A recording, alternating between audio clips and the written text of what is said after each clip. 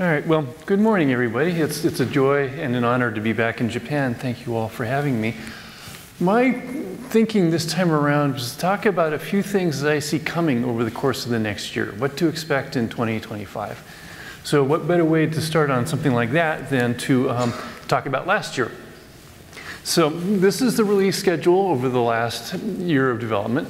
So, you see, we put out six major releases each of which containing about 14,000 individual commits, sometimes more, sometimes less, coming from around 2,000 developers. Generally, about 250 of those developers in each kernel release are contributing to the kernel for the first time. So we're still bringing people into our community. So it's a, a table that shows a lot of activity, but it's also really just the same table that I have been putting up for years. It gets a little bit boring.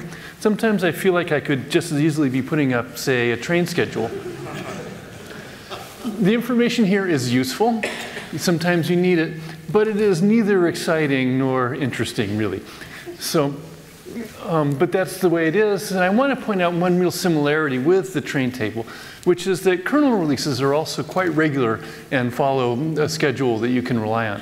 They come out every nine or 10 weeks, really without exception. And when I say without exception, I mean that over the course of the last 15 years or so, there have only been two such exceptions, two kernel releases that took more than 10 weeks. Right? And if you look at the dates of those releases, they may seem familiar to people who've been watching. 4.15, which came out in 2018, came out right after the initial disclosure of the Meltdown and Spectre hardware vulnerabilities. So we had to merge thousands of lines of, of, critical security code in the middle of a development cycle. And so that took us a little bit of time to stabilize it and to get that kernel release out. 3.1, released 14 years ago now, was contemporaneous with the compromise of the kernel.org infrastructure. So in the middle of that development cycle, we lost our entire development system that we worked on. It had to be torn down and rebuilt from the beginning and all that. And so that turned into a 12 week development cycle. So the point that I want to make here is this is the magnitude of events it takes to, to slow down our kernel releases. In the absence of something like this, it takes nine or 10 weeks.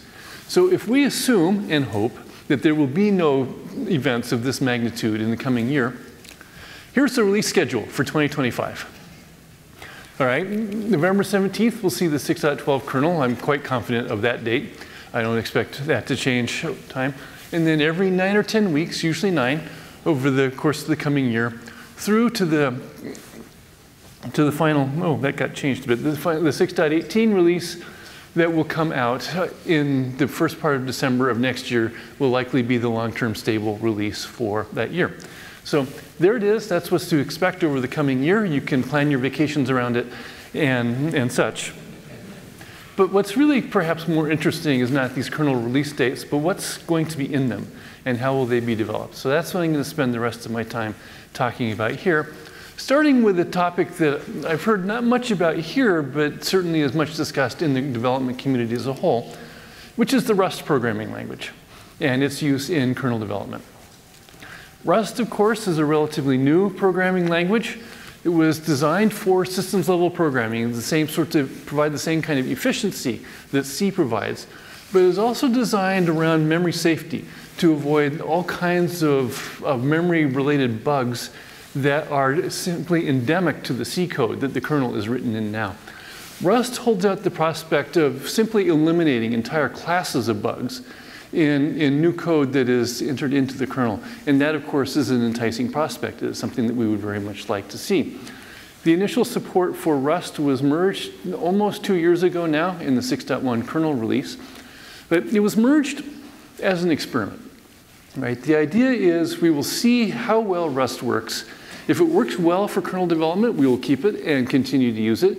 If it doesn't work, it can be removed from the kernel and we will try again with something else. The advance of the Rust work in the kernel has proceeded slowly enough that some people have occasionally worried if this experiment is not succeeding. But um, at the Maintainer Summit held in September, where a number of top kernel maintainers discussed the Rust programming language and the challenges we were facing with it, There, was, there were several conclusions that came out of it, but the one I really want to relate here is this one here. The conclusion of the Maintainer Summit is that Rust in the kernel is viable. It is going to work. There was really nobody there who was saying that this is not working, that this experiment will fail, that Rust will have to come out of the kernel. So while the experimental status has not, in any official sense, been taken away, I believe that we will, that Rust has succeeded, has shown that it will work, and that we will go forward with it in the kernel. Not that it's going to be entirely smooth sailing. There are some interesting obstacles still, starting with the fact that the Rust language itself is still evolving. So it's hard to build a solid foundation for kernel development on a platform that is still shifting, but that is stabilizing over time, and the Rust language developers are committed to helping the kernel iron the rest of this stuff out. So that should work out. There's only one compiler for the Rust programming language. That makes it hard to know what your standard for the language is when you only have one implementation of it. But perhaps even more problematic is the fact that the Rust compiler does not support all of the architectures that the kernel can run on. As a result, Rust code that is entered into the kernel cannot be compiled for all the, all the systems out there that the kernel supports. This is a problem, and is going to need to be solved by adding Rust support to the GCC compiler. People are working on that. It's going more slowly than people would like. It's a, an under-resourced project, but it is getting there. Interface design within the kernel. Rust developers take a very different approach to how you design your internal interfaces than C developers do, simply because the Rust language makes it possible to, to check so many factors of the correctness of the code. So that if you design your interfaces right, code that compiles has a very high chance of being correct. C code is much more based on understandings and promises between developers with no way for the compiler to check it. This creates a bit of a discord and some friction between the Rust and the C developers in the kernel. It's causing it's forcing changes on both sides. I think the end result will be improvements for both the Rust and the C code. It will make the C code better, but it's something that we will have to work out over time. And then finally, there is the issue of backports. The older kernels that are used by, say, enterprise distributors and such do not have Rust support or any of the stuff that we've been adding to it.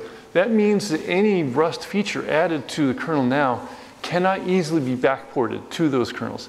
That is creating resistance to the addition of certain features in Rust right now. This is a problem that will naturally go away over time as, as those kernels advance, but it's going to take a while to resolve as well. So we have things to work out, but Rust is going forward. And there are a few things that we can look forward to, starting with the, the continued merging of infrastructure. It is nice to be able to say that we can write a device driver in Rust. But a device driver in the kernel must make use of services provided by many other subsystems within the kernel. And Rust interfaces have to be written for every single one of those interfaces. That is what much of the work over the last year, two years has been, is providing those interfaces. That work will continue for quite some time, but it is getting there. Once the necessary infrastructure is in place, there are some drivers that we're likely to see. The one I think we most likely see first is the Android binder driver. Binder being a, an interprocess communication system used within, the, within Android systems is a highly security critical piece of software. It would be very nice to have implemented in a safer language. The, the driver is there, it is written, it works, it's mostly waiting on infrastructure and could go in fairly quickly once the infrastructure is there for it. I wouldn't be at all surprised to see that happen this year. There is a driver for Apple graphics processors out there. It works.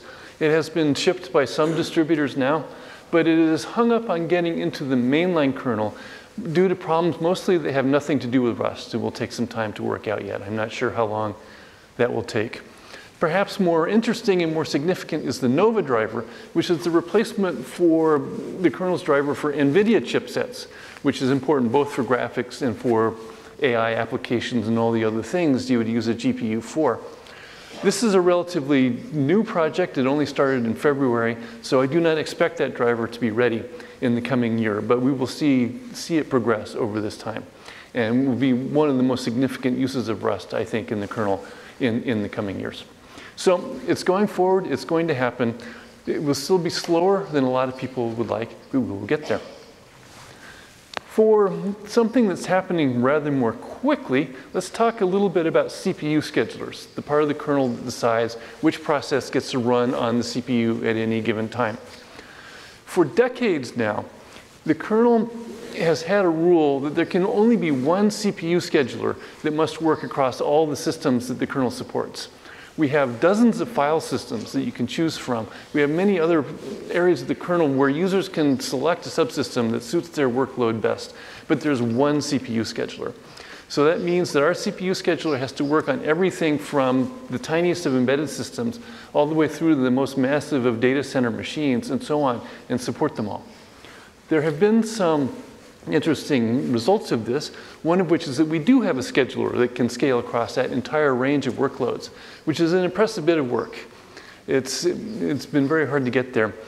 But on the other hand, there are user communities out there who have never felt that the scheduler suits their needs as well as it could.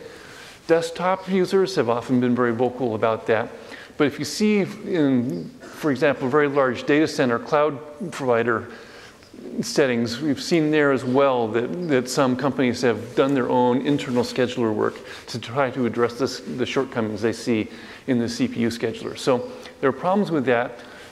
The one scheduler is also a real bar to entry for any developer wanting to add changes to the scheduler because any change you make has to work, again, across that entire range of workloads which means that it's very easy to regress somebody else's workload, which you don't have access to, you don't really even know exists, and cannot test. That makes it makes changing the scheduler an intimidating prospect and has, I think, impeded scheduler development overall. So bring into this a subsystem called sched_ext. This is a new scheduling class, which allows a new CPU scheduler to be written and loaded from user space as a set of BPF programs. So on a running system, you can load your new scheduler and completely change how the CPU scheduler works in the kernel. This brings a number of interesting advantages. Now anybody can write a CPU scheduler focusing on their particular needs. It makes iteration quick and safe. BPF programs cannot crash the kernel, or at least that is the theory. Um, if you need to change your scheduler, you just make your change, recompile the code, unload the existing one, load a new one. You don't have to build a new kernel. You don't have to reboot. You don't have to worry about crashing the kernel. So it makes development and iteration much easier, much friendlier. And it allows developers to focus on their one specific use case because they're running a scheduler for themselves. They're not trying to support the entire range of users of all of Linux. So it makes a lot of things possible and has led to a very quick explosion of creativity. There are a lot of schedulers that have been posted already. This is not the full list. I don't have time to go over them, but I do want to mention the first one, LAVD, which is being written for gaming systems and specifically to be shipped on the Steam Deck gaming platform. This is a commercial product. This is not somebody playing around with schedulers. It is designed to, to maximize the interactivity and response time of the game and eliminate stalling and stuttering. They've had great success with it and do in fact intend to ship it. There's a whole lot of other developments out there exploring different areas of schedule design. There's a whole new community that has exploded around this particular aspect of kernel development. And perhaps the most interesting thing is that this has happened despite the fact that sched_ext is not in a released kernel because it was only merged for 6.12. It will only be in a released kernel next month. I think that once you see sched_ext in in a release kernel and in people's distributions that this creativity is going to grow another step yet, and we're going to see some very interesting things happening. This is an area to watch. Very different, let's talk about CVE numbers just briefly. You may have noticed that there's been quite a few of them, and there will be quite a few more. CVE numbers are the identifier attached to vulnerabilities in software, in the kernel or elsewhere. As of about February, the kernel is now its own CVE numbering authority, meaning it assigns its own CVE numbers. This is a change that was made in response to a number of problems with the whole CVE system. Many free software projects have made this change. The interesting thing about the kernel is that given its place in the system, many bugs that would be just bugs in a normal application are security vulnerabilities at the kernel level. So the, the CVE people are assigning CVE numbers to any bug that looks like it could conceivably be exploitable as a vulnerability. This has resulted in the issuance of, of large numbers of CVE numbers and has created discomfort for anybody whose job it is to try to backport fixes, say, for every CVE number to an old kernel. You know, if it's an enterprise distributor or the civil infrastructure project or people like that, suddenly they have thousands of these things that they're trying to address in their kernels. But as Kees Cook pointed out a while back, if you are unable to keep up with the CVE number flow now, you were not keeping up with the flow of vulnerabilities in the kernel before. That situation has not changed. The only thing that has changed, the problem is now much more visible than it was. If you do want to keep up with all the CVE fixes, the way to do it is to run the stable kernel releases that come out of, out of, out of our project because those kernels, by definition, have fixes for all of these problems. That's really all I have to say about CVE numbers. If you want to know more, I strongly uh, suggest going to Greg Kroah-Hartman's talk this afternoon because he is deep into this and knows far more about it than I do. So the last thing I want to talk about is tooling. I have tooling for kernel development now.